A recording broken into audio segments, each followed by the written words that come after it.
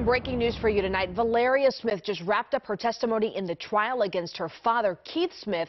He's accused of killing his wife and then later blaming it on a panhandler. You can't forget this case. WJZ live outside the Mitchell Courthouse for us tonight. Avajoy Burnett with much more on what she had to say on the stand. Avajoy.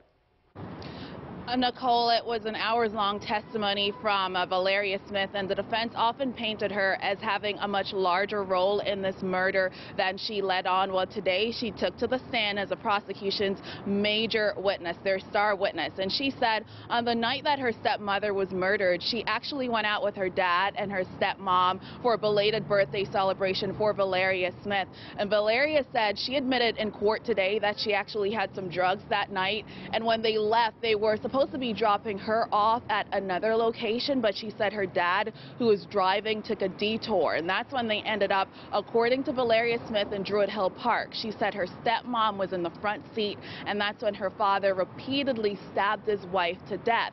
Valeria Smith said her dad, Keith Smith, then got out of the car, told Valeria to get out of the car, and she said he got rid of that murder weapon, which was a knife. According to Valeria, he tossed it into the woods, and then he came back to Valeria and told her that storyline that we've all heard by now, that it was a panhandler who allegedly took the life of his wife. Valeria Smith said about a day or two after that, her, her dad actually went to the workplace of his wife because he wanted to get some life insurance paperwork. We told you last week that there was a detective who testified in court that he was so convinced that Keith Smith had something to do with his wife's death that he called the insurance company up and told them to hold off on that payout. Now, the defense, they always said that Valeria Smith had more to do with this. That's their belief in this case. And they questioned her on the stand today. They grilled her about why she didn't come forward much sooner, why she didn't speak up. And they implied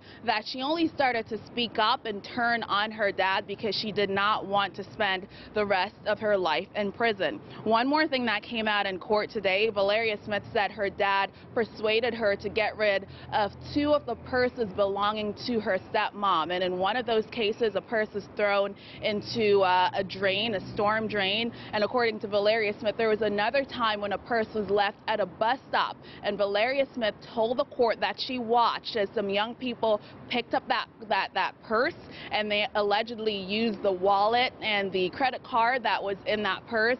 And it turned out that police actually started looking at those young young people as potential witnesses, but or suspects in the case, but all eyes started to turn back onto Keith Smith, who is now on trial for his wife's murder. This will uh, continue tomorrow, and of course, WJZ will be here with all the details that come out of this murder case.